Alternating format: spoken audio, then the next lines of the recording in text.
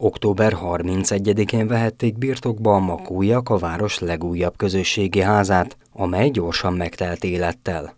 Az épület Makó rendszerváltó polgármesteréről és későbbi önkormányzati képviselőjéről kapta a nevét. Varga Ferenctől megtudtuk, szerettek volna ezzel is méltó emléket állítani neki. Sánta Sándor indította el ezt az egész projektet, az egész beruházást ő szorgalmazta. Mindig szívén viselte, úgy gondolom, az ottani lakosoknak a a életét, az életminőségét mindenben segített, úgyhogy mégiscsak szerintem ez egy méltó lezárása volt az ő munkásságának. Azt tudom mondani, sőt én ezt merem kijelenteni, hogy szerintem azért ebbe a városba ő tette legtöbbet azért, hogy ez a városrészt próbáljuk fölzárkóztatni.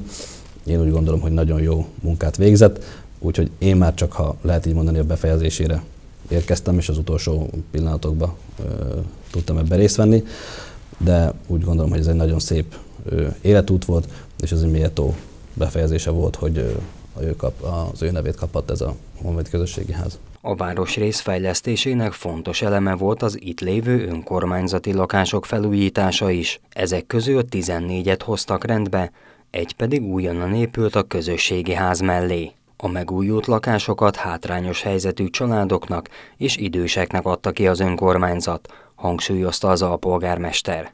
Van, ahol idősebbek lakják, valahol családosok lakják, van, ahol ketten laknak benne két, egy idős házaspár, valahol fiatalok több gyermekkel.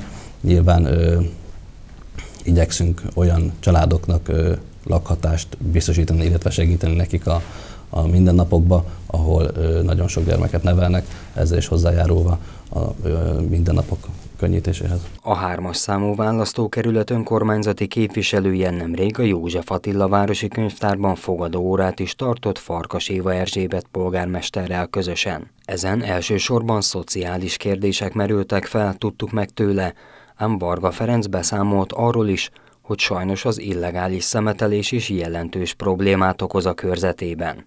Az alpolgármesterrel készült teljes interjút a jövő hét keddi hét híre műsorunkban lehet majd megtekinteni.